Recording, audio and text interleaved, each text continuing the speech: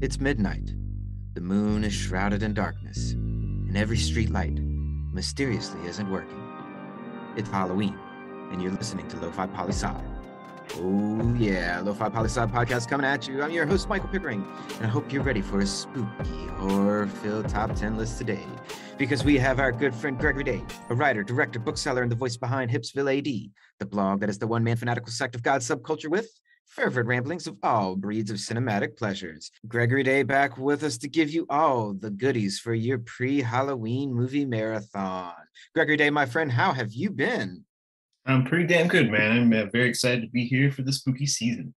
Oh, fantastic, fantastic. Me too. Halloween's one of my favorite times of year. It gets me ready for Mardi Gras. All right, but let's jump into this list, my friend. What top 10 list do you have for us today to get ready? Yeah, Halloween? man. So I'm here to scare your ass off today with an introduction to international horror. Ooh, international horror, and we all know I'm not. Now I'm a scaredy cat, man. I'm not a big horror person, me. So we'll see how this goes. Let's let's yeah. dive right into it. Coming in at number ten is. All right, yeah. So um, I just want to preface this list before we get into it uh, that these aren't necessarily ranked. Uh, they're just um, you know I have to put them in a ten list. So I wanted to make sure um, to kind of come out first and say they're not really ranked because they're by country. I didn't want to repeat countries, so I don't want to make it seem like one country is better than another. So uh, we're going to start in Asia and move west. So I just want to preface that uh, up front. But we're starting with number 10 is from Japan. Uh, is a film called Hausu from 1977. Uh, and this is one of the most bananas movies you're ever going to see.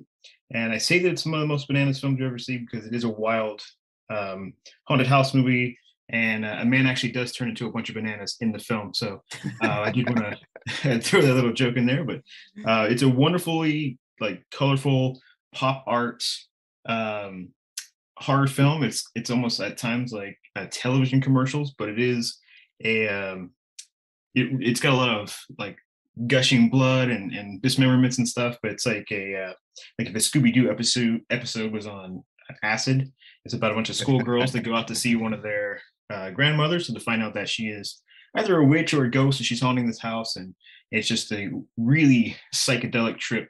Once they get there, uh, someone gets eaten by a piano. It's just uh, one of the most vividly entertaining, thrilling, funny, and and really sincere horror films. And um, you know, for any for all you gore gorehounds out there, it's just uh, you know, it's it's a really great time.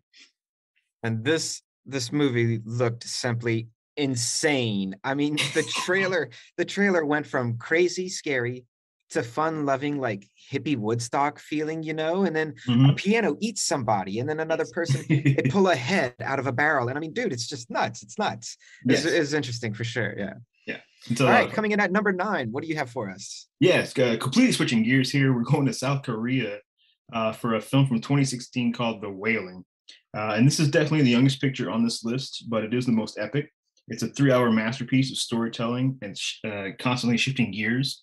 Uh, so it's sort of um, a detective story at first about these uh, deaths happening in this little village in South Korea. Then it kind of shifts into a zombie film, and it kind of shifts into a, a sickness film, and it shifts into sort of a possession film. Uh, then you get to the heart of it, and it's like this demonic um, thing happening in this village, and it and it's uh, it's a really great mix of stuff because it starts off with uh, this bumbling cop who is sort of an idiot, but it's like a small town, so you can kind of get away with being this idiot cop that really, um, you know, it's too much for him to handle to be investigating this thing, but it gets so personal for him and his family, and he's trying to save the village, and it gets really dark and really scary uh, by the end of it.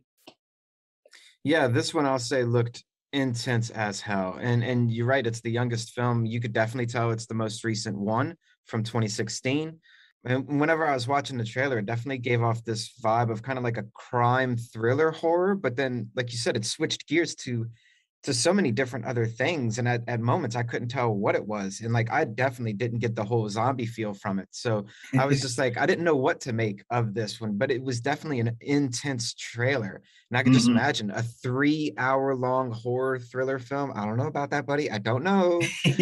yeah, I will say that uh it is aptly titled all right, all right. Let's jump into number eight then. What you got for us? Yeah, we're really jumping uh, from Asia to Europe now. Um, I, just, I wanted to add here that there, you know, not every cinema culture has a lot of horror films, so I did want to point that out as we skip over um, you know, India and Asia, or, you know, parts of Asia and Middle East before we get to Europe here.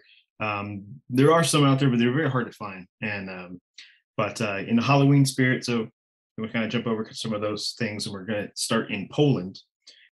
We have this film from 1961 called Mother Joan of the Angels, which is one of the most frightening, like Christian films I think I've ever seen. Uh, but Poland has a rich history of cinema, and they have a very specific like thing about how distressing and horrific their films can be, but they're not always horror films. So they're, they're really unsettling films. And if you're familiar with like Roman Polanski, like how his films kind of border on thrillers and and uh, drama and horror, that stuff kind of really um, is, is a great example of Polish uh, films and and and their relationship with that with that sort of genre stuff.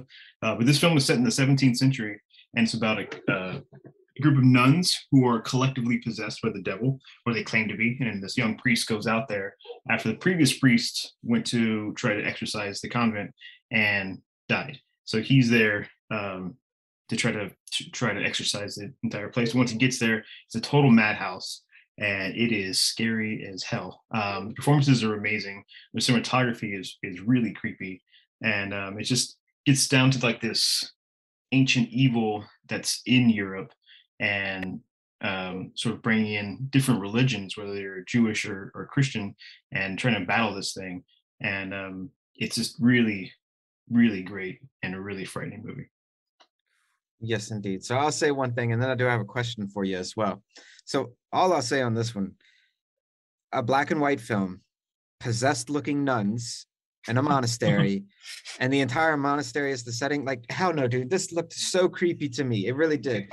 But like, but let me ask you. So this was 1961. Mm-hmm. This was in the heart of Soviet Poland, right? Poland's a communist yeah. state.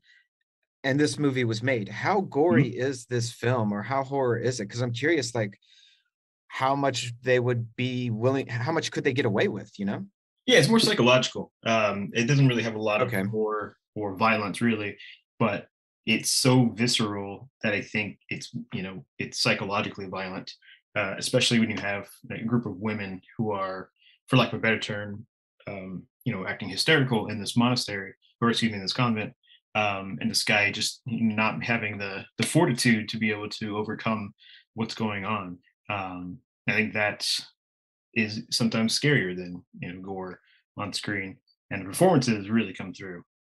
Definitely, definitely. I was interested about that. Whenever I saw the date and I was watching the trailer, I was like, how much are they not showing? Mm-hmm. Well, next up, coming in at number seven, where are we going? We're going to Germany this time, and we're talking about Nosferatu the Vampire. Um, and this is the 1979 Werner Herzog adaptation of it, um, which is a tribute to the original silent film. Uh, Germany's got a great history of horror films, but th- mostly from the silent era. Uh, but Herzog did a tribute to it in the 70s. Um, he really wanted to um, shoot them in the same locations from the, the 20s and um, and really capture like the feeling of East Germany and like tra- traveling Transylvania and catching the countryside and how inherently uh, spooky it is but he, you know, he, it's an adaptation. Even the original is an adaptation of the Dracula novel.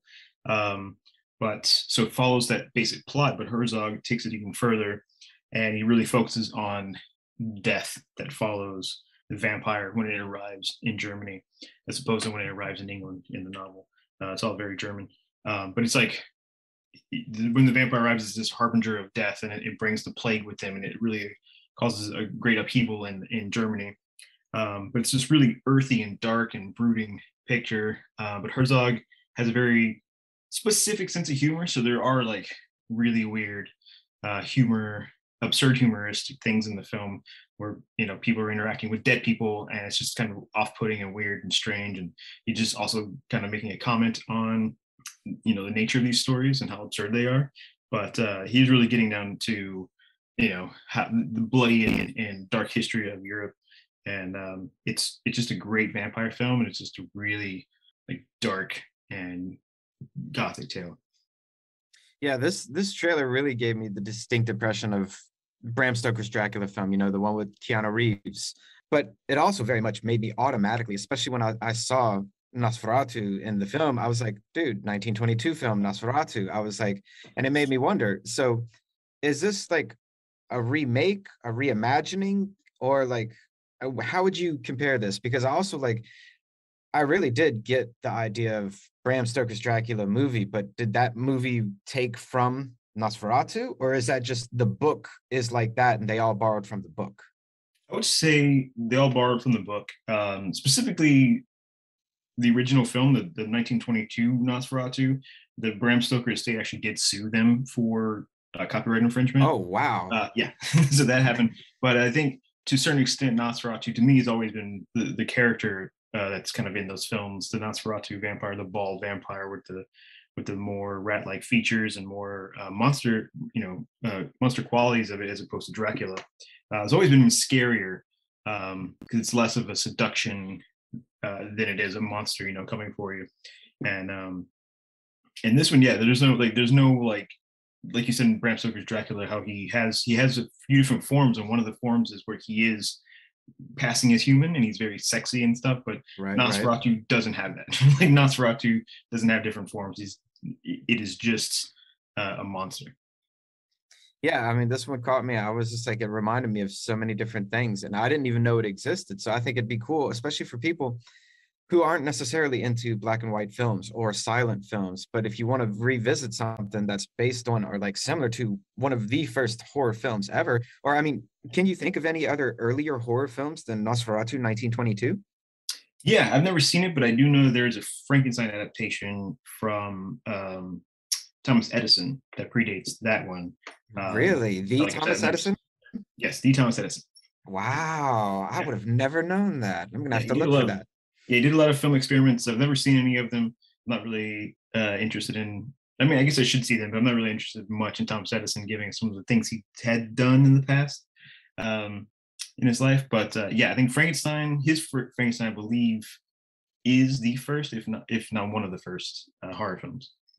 Interesting, interesting. All right, well, let's keep on moving on. And what do you have for us for number six? Goodness, yeah, number six. film here. yeah, yeah, I'm very excited to talk about this. One. It's called The Iron Rose from 1973 from France.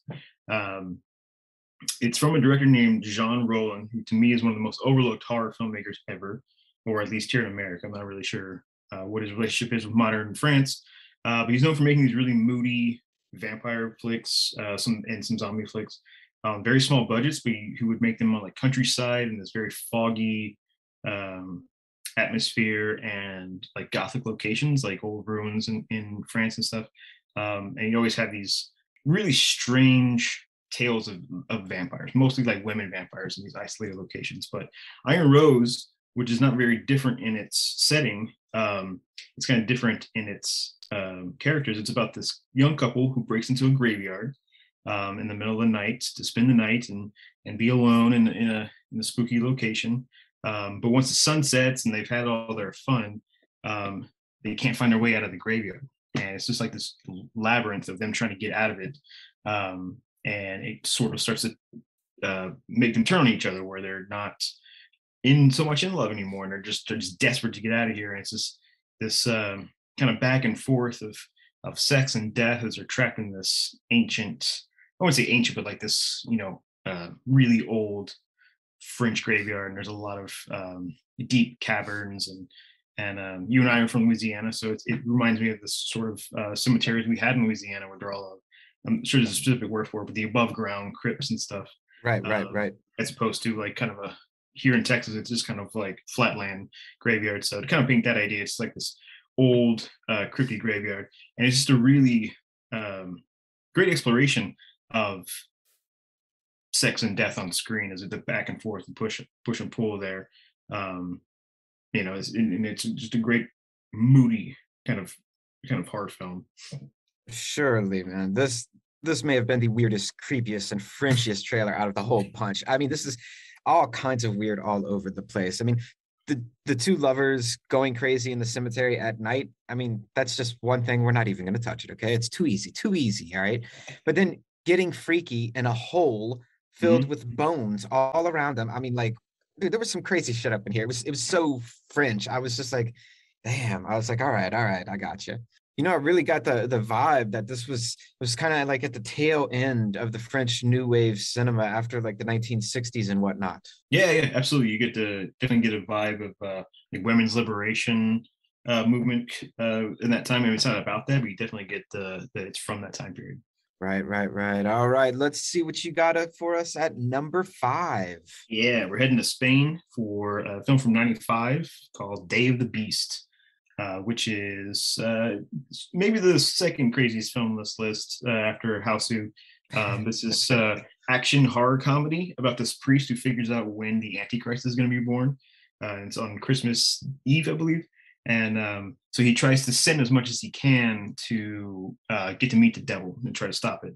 But it doesn't quite really work that way. So he teams up, teams up with this hokey TV psychic and a heavy metal record store clerk and they kind of go on this journey across Madrid, trying to I think it's Madrid, but this the city trying to find and pinpoint the location where the Antichrist is going to be born, and they get into all kind of crazy uh, scenarios, and there's a lot of like action uh, action packed set pieces that are really funny and just um, it's just kind of like a screwball comedy at times, but it's also got this underlying message about uh, anti-nationalism that um, you know is it worse uh, than any anything we can imagine the devil, you know, uh, has has done. But um, it's a lot of fun, and it's quite a surprising film. I have it's actually the film I've seen probably the least on this list. I just recently saw it, um, maybe in the last year, and it really blew me away. I hadn't, hadn't heard about it until recently, but uh, man, it's it's a lot of fun.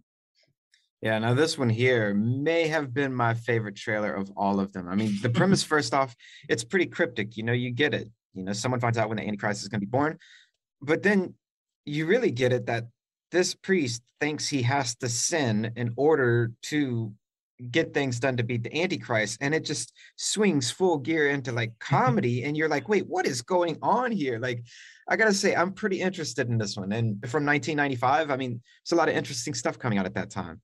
Mm-hmm. yeah it's very fun. All right now let's move on to number four. What do you have for us? Yeah uh, we're going to italy uh, for a film that's a very personal favorite of mine called Suspiria from 1977. Um, I could have done an entire list of Italian horror, honestly, but um, I, you know, wanted to keep it eclectic. Uh, so this one uh, really embodies Italian horror for me. Um, it's bright and colorful, and it's gory as all hell. Um, but it's, it's this tale of an American ballet student. Even the movie is set in Germany, uh, but it is from Italy uh, who's in this German ballet academy, who is starting to suspect that there are some weird things going on at the school, and some of their fellow students are getting murdered, and there's all this sort of uh, inklings about witchcraft going on at the school, and things just really get out of out of control. Um, it is sort of an adaptation of Snow White and Seven Dwarves, even though there's no dwarves in the movie. Uh, but it's sort of like this idea of like these children and this witch um, this you know European fairy tale, but in this ballet school. Uh, it's really really known for its like grand scale and scope inside the school and the color schemes, lots of reds and lots of blues. Uh, so it's it's really it's a really scary ride, but it's a, a feast for the eyes. And I was I was really surprised by this trailer because I mean I thought at first it was just a, a movie about the world of ballet in Italy. You know, it was just things were happening and I was like, okay, okay, nothing seemed too weird or horror like. And then halfway through the trailer, people start dying, and there's this dog gnawing at someone's neck, and a monster comes out of nowhere, and it's like death and blood, and it gets really, really gory. I mean, in a mm-hmm. trailer, it gets gory. I could only imagine mm-hmm. in the film what it would be like. And then boom, it, it, like stops, and it's this white word on a black background, and it's Suspiria, the title, and it's like, damn. I'm like, all right, all right, I see you.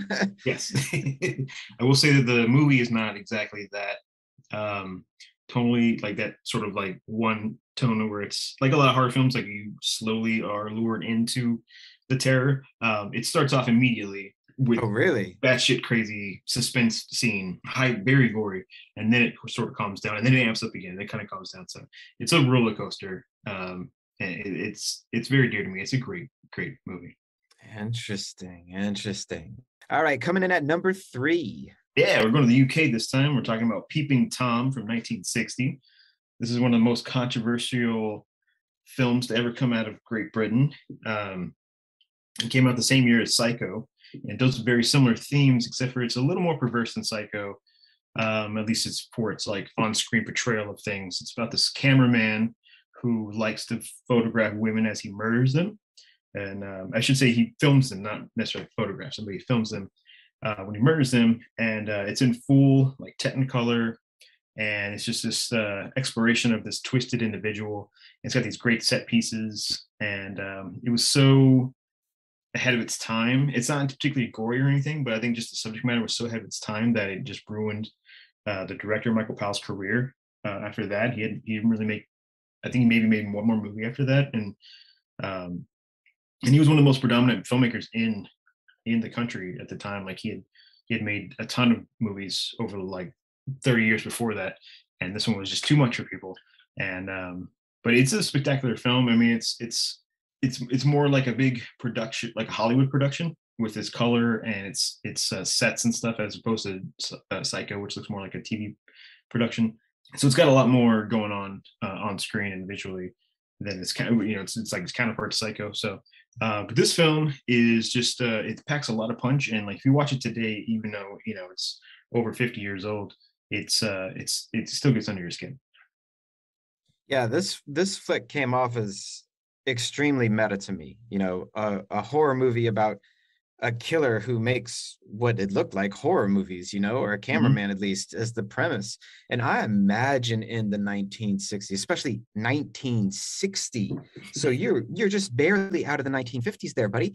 And then this comes along and it's like, man, I bet it did ruin that guy's career. Um, I mean, that's tragic, but I mean, yeah, wow, like cinema 1960 doing this i was just like that's that's a mm-hmm. lot to chew off um yeah yeah i would say like if you compare it to psycho like they came out the same year um and psycho has the shower scene right? So it's a very famous shower scene and um it's nowhere near as as an indictment to the audience than psycho is because it's like you're watching someone murdered from the point of view of the camera and it's like the camera is killing you like the audience is participating in it and that is just well ahead of what anyone was thinking about horror films and how it relates to cinema and how violence relates to audiences and all that stuff kind of mixed in there um yeah just probably too much for people back then yeah yeah i imagine so all right let's go ahead and get into our number two yeah we're uh jumping the Atlantic here. We're coming over to North America for our number two pick to Canada.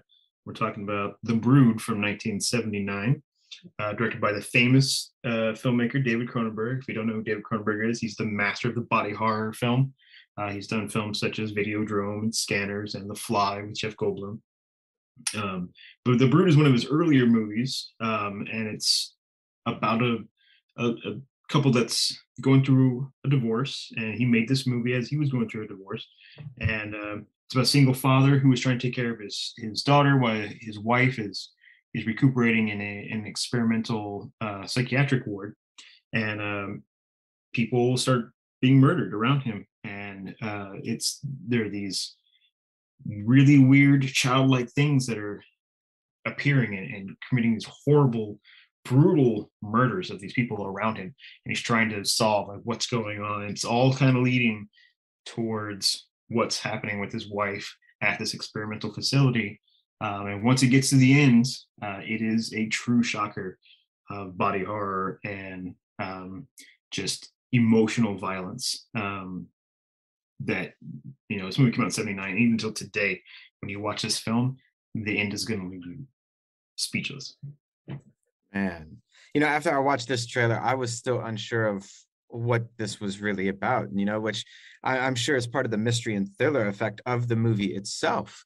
But I know one thing if you put a little girl in a film and she is screaming in terror, then, like, nope, nope, not going to watch it. No way. Yes. But, you know, I do have a question for you. You, you dropped this line a couple times a body horror. What does that mean? I'm, I'm not sure what that means. Sure. Yeah. So, body horror is uh, there's a few different avenues of it, but essentially it's just exploring the changes of the human body uh, in, in, many different ways. Uh, so Cronenberg, a lot of his films really focus on that. So um, The Fly, if you've ever seen The Fly, it's probably his most famous film, is about a man turning into a fly. So it's that's very crazy. Be, oh, I can't. very methodically oh. right. Uh, Yeah, uh, yeah. I mean, it shows how his body is decaying, right, in becoming the Fly. And in a film he made called Videodrome is definitely about how media is changing our bodies. Uh, he made another great film called Crash, which is about these people who are sexually aroused by car crashes, but it's also but there's also a character in that film who is very interested in how automobile accidents are changing the physiology of the human body. Um, to, another great example is a film called Tetsuo, the Iron Man, which is from Japan. Um, and that film is about uh, a guy who starts turning into iron and sort of this metal fetish and how machines are changing our bodies and stuff. So yeah, body horror is definitely a, a, a bunch of different avenues, but yeah, it's all about how our relationship to our bodies, our disgust of our bodies, or how our bodies are changing over time with science and technology. Interesting, interesting. I like it. I dig it. I dig it a lot. Yeah, and uh, just one more thing about the Brood. It's it's it's not quite the body horror like that, where it's in in about the changing of it. It's this one is more about, I guess, the emotional um, stress and and and torture and, and emotional violence and of, of like how this divorce is putting on them, how that is affecting the body. Interesting, interesting. Yeah, that I mean, definitely those things do do make sense because the psyche affects the physical body as well, for sure. Mm-hmm. All right, and now to your number one for an introduction to international horror. What you got? Yeah, so uh, this is top five movies for me here. So everyone uh, will probably stay clear of me for forever after I talk about this film. but um, I wanted to do number one. I didn't want to pick a specific country. I wanted to talk about an international collaboration. So, uh, number one movie is a film called Possession from 1981. It is from a Polish filmmaker named Andrzej Żuławski. Uh, it's in English, but it's set in Germany, and it stars a French actress named Isabella Adjani, who's also in the Nosferatu film we talked about, and uh, the famous uh, New Zealand actor Sam Neill, so you've seen Jurassic Park. He's the lead in that movie. Um, this is much earlier than that, and so it's a huge collaboration. A bunch of different um, countries kind of involved here, but um, it's very similar to The Brood, and it is also about a divorce. So if you want to have the, the most depressing and worst double feature of your life, watch The Brood and Possession together. Um, but uh, this one is is a really tough movie, so I'm not going to sugarcoat it. It's very tough. So don't go into it if you're not ready to really sit through one of the most uh, emotionally and um, you know visually antagonizing movies you're ever going to watch. Um, but it is it's set during the Cold War and it was made during the Cold War. It was really shot in an apartment just next to the wall, so you could actually see the troops guarding the wall uh, in the film in the background. Uh, outside the windows, but it's it's set there specifically because it's about a, a couple that's going through a divorce, and it, you know it's in a city that's divided. It's about this this couple that's divided, and um, and then it starts to get into psyches that are divided. And so uh, it's about this agent who comes back from an assignment, uh, which is also ambiguous, is kind of what he does. But when he gets home, he finds out that his wife has been um, unfaithful to him. And yet, when he's trying to figure out what's going on with her, like who is she with, she is tail spinning, uh, psychologically tail spinning, and he can't figure out what's going on with her. And then his obsession with her is uh, also starting to fracture his psyche and start to he goes on down his own emotional and psychological uh, tailspin. Um, but it all kind of leads to trying to figure out what is going on with her, and it gets even darker and deeper and scarier than uh, I think anyone getting into the movie is ever going to expect. Uh, it gets into some real deep cosmic horror um, and kind of like trying to figure out like who was who was my wife sleeping with and and going in just you know head first into some some strange shit that you were not prepared for um, on the other end of, the other end of that.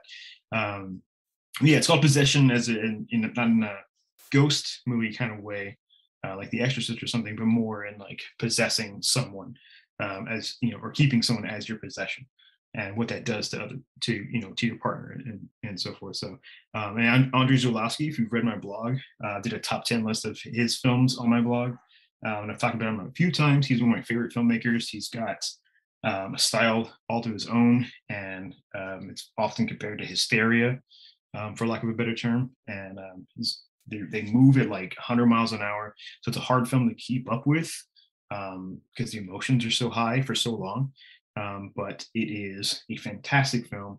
And if you're lucky enough, the 4K restoration is making its theatrical uh, run right now uh, across the country. I'm going to be able to see it in the cinema for the first time next week. So if you have the opportunity and you got the stomach for it, I would highly recommend that you go and see it. I'll go ahead and tell you, my friend, romantic thriller horrors creep me out to no end.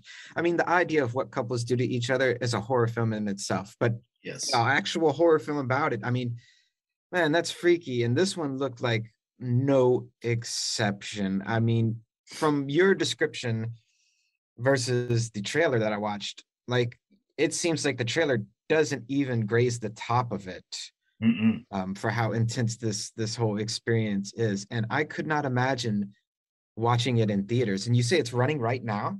It is running right now. Yeah, it just got a 4K restoration. Um, and I don't even know. I can't specifically say if it ever actually got an American release in the theaters. It may have, um, but this may very well be the first time it's going to play across the country. Interesting stuff. Interesting stuff.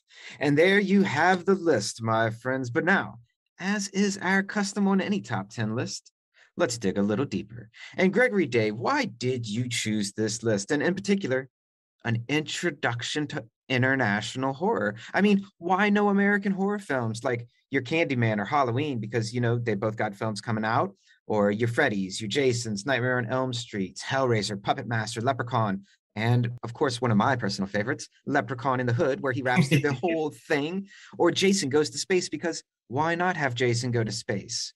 Or like the more serious side, what about like the famous ones like The Shining, you know? Like what mm-hmm. made you decide to stay away from American horror altogether for your list? Yeah, yeah. Uh, I just want to throw a little shout out to uh, Leprechaun in the Hood to say that a friend with weed is a friend indeed. Um, yes, indeed.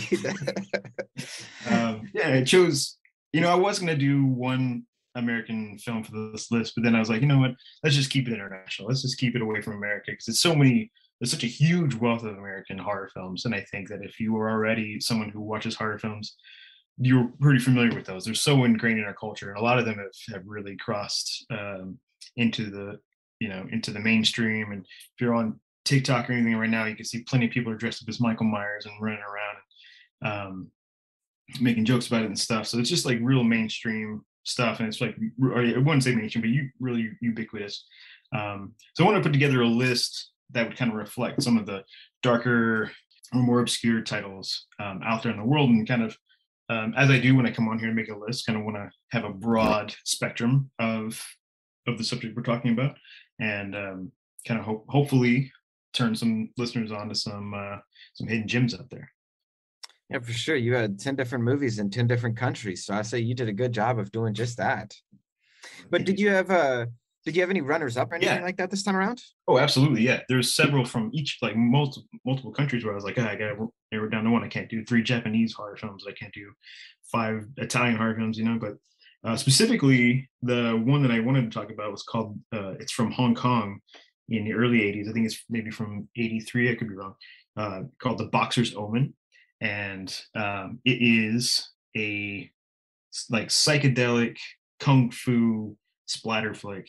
It is really fucking crazy. It is to be to be a kung fu horror movie. Yes. I might be able to get into that. Yes, I, I would recommend it if you could track it down. Um, and what's the name again? The Boxer's Omen. Boxer's Omen. Yeah. Very interesting. Very interesting. And just out of curiosity, too, did all of these horror films come out around Halloween? Do you know? I don't actually know. I don't think so. I don't know if any of them ever really came out around Halloween. Because I know now, like it's it's almost every year. It seems like Halloween is the time for horror mo- movies to come out. But I just wonder, you mm-hmm. know, like Halloween wasn't always as big as it is today. You know, if you go back into the 70s and 60s and 50s, Halloween wasn't celebrated at the same time. So I imagine, yeah, horror films probably just came out whenever. They didn't always come out around Halloween like they do now. Yeah, I think so. Yeah, they just kind of came out because they were always like a niche audience thing. And they kind of had their own producers and their own directors who were kind of always making those movies and making marketing campaigns and stuff. And especially when the like the teenage audience became a bankable demographic, you know, it was like that the need for that kind of went all year long. And um, countries like Italy, which was like I didn't know this until very recently, but they had very little TV options. So there, the reason there are so many Italian films out there, like uh, especially with the exploitation films. Like they had to keep cranking them out because there was nothing for people to do at home. So they'd go have dinner and go to the movie. And they needed to keep having you know more and more movies made so that they were constantly fresh in the theaters. So I could see countries like that where um, horror films were cranked out all year long. Interesting, interesting. I never knew that about Italian cinema. That's pretty cool. And a final question for you, and one that we always ask. Why is this list important? And I mean, you know, you know me, I'm not a horror person, but I get it. lots of people are, and lots of people are doing their Halloween movie marathon right now, and it's all horror flicks. So I get it. I get it. But you know, tell the people out there then, mm-hmm. why is this list important to you? Yeah, yeah. So I apologize for my dog here. If you, you can oh, no, her. we love we love animals. yeah, um, she's having a good time out there.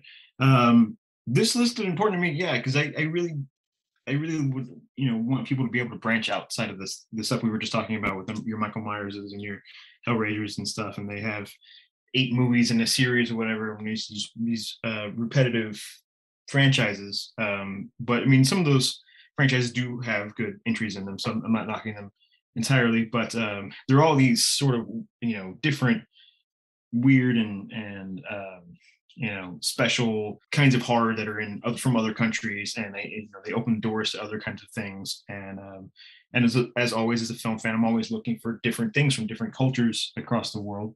And their cinema always is going to um, you know open that door. And then what scares people in other countries is definitely not what scares us in america. So it's always interesting to see those things as well. But it's also like from a filmmaking point of view seeing how the italians you know do horror on screen. Like Suspiria looks about as far away from, you know, any American horror film, um, or Hausu, the Japanese film. Um, just their sensibilities is what um, really grabs my attention. And uh, when we do these lists, I hope that I'll be able to uh, pass that along to other people, and they'll be able to see these idiosyncratic and weird and, and fun and uh, thrilling things from across the world. Yeah, for sure. And I will say that you know, I could tell from all these different countries and watching all these different trailers for the film that you must certainly see some things in there that you would not think of in an American horror film or in American cinema at all. Really. Um, and, and in many cases, you would consider it taboo in American culture to necessarily put some of those ideas up front. And I could imagine like a couple of those films, if they were done in the US, would probably end some directors' careers, you know, just like it, it did in, in for a few of them and the one in the UK. Mm-hmm. Um, and I think you are right. Like, it probably to a degree, different things scare different people around the world. But I would always also say that I imagine at some base level that all humankind, like, there are some things that scare all of us, no matter where you are. Like, pulling a head out of a barrel and having it yell at you. That's pretty scary anywhere. yeah, yeah. I'm not the biggest fan of them, uh, so I didn't really re- including them in the list. But ghost films, I think, are are very interesting to, to your point about how they scare us collectively.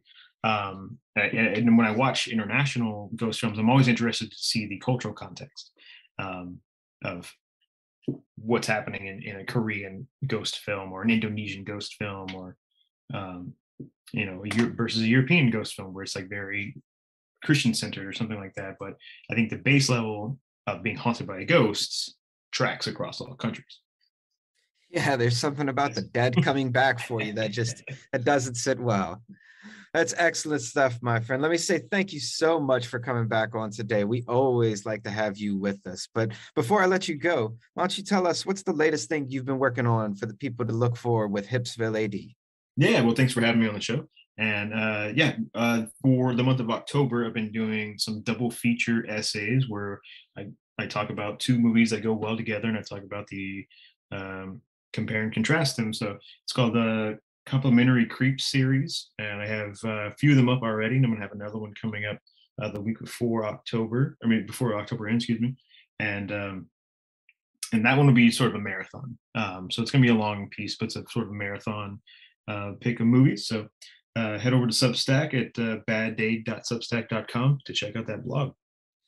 Excellent, excellent. And where else can the people find you out there on the webs? Yeah, uh, I'm on Letterbox. I'm Hipsville AD on Letterbox. You want to follow me there, and I'm on Instagram under the same handle. And thank you again, Gregory Day, for coming on. And everyone, that is this Tuesday's top 10 list. And do you have your own top 10 list ideas? Send them on in. Do you have questions for our friend Gregory Day over at Hipsville AD? Connect with him. Always remember that Lo-Fi Sci is more than just me. It's the we that we be. Peace and well-being to all my human beings. Much love and always the best. Pickering and Day, signing off.